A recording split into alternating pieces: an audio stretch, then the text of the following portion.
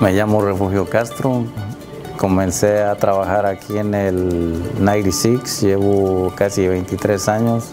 Comencé como painter's helper, mm, eh, luego me hicieron masonry y ahora soy craftsman y casi hago de todo.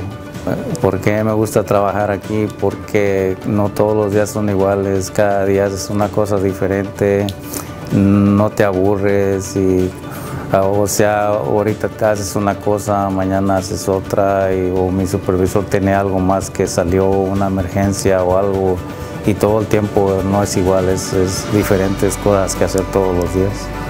Mm, se siente bien que tus uh, supervisores se fijen en ti, la clase de trabajo que eres y, este de tanta gente que hay que te escoban a ti se siente, se siente bonito que, que, que, vean que, que, estás haciendo, que estás produciendo, se siente bien.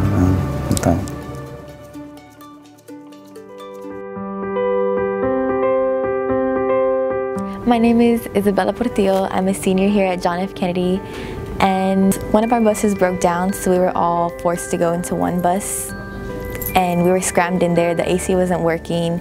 The boys were sweating, we were sweating.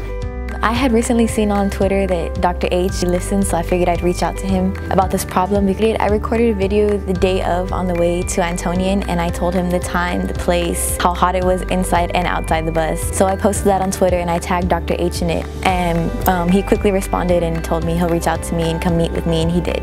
He was telling me how um, brave and courageous I was for being able to reach out like that and have a voice. He was very understanding and he told us he was going to take care of the problem because it wasn't right how we have all these other buses and we're not being able to use them.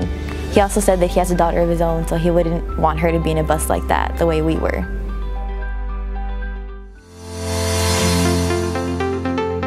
So my name's Amr Fawzi. I'm the help desk technician and I'm the help desk. I help whoever has an issue and is uh, bold enough to call. So if you click on that, I really enjoy my job. I like it. Um, I, I've got a great team that I get to work with, um, which really, it's amazing to have, you know, the kind of support that I get from, you know, my director, from uh, Roberto Soto, uh, Felipe, everybody else here as well. I mean, it's, so it's fun to come to work, it's fun to do the job. It's a little hectic sometimes, particularly with my position. I think you always feel like, you know, at the end of the day you're tired, but you helped somebody, you know, and I like that.